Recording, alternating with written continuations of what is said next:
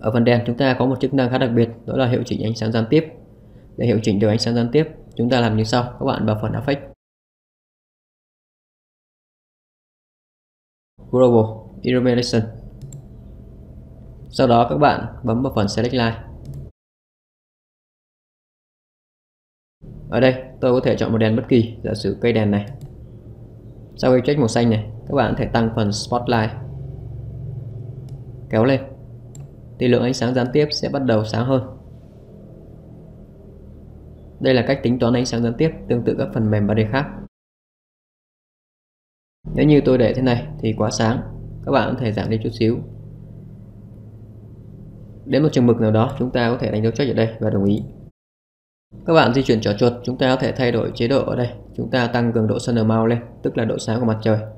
Nhưng trong trường hợp này, cảnh đêm không có mặt trời, nên thang này tôi bỏ qua phần For Spell. Chúng ta cùng nhau chỉnh những phần bên mềm. Tôi giảm đi và tăng lên, sáng mềm hơn. Reduce Smart Chúng ta tăng giảm và những vị trí ở chỗ này sẽ có sự thay đổi khá nhẹ nhàng. Và Sun Max Distance Cái này cũng không có tác động Bởi vì chúng ta không có đèn sân ở đây các bạn có thể bấm on hoặc off để review quá trình chúng ta chỉnh ánh sáng. Nếu tôi off thì các bạn không review thấy, nhưng tôi on lại thì thấy.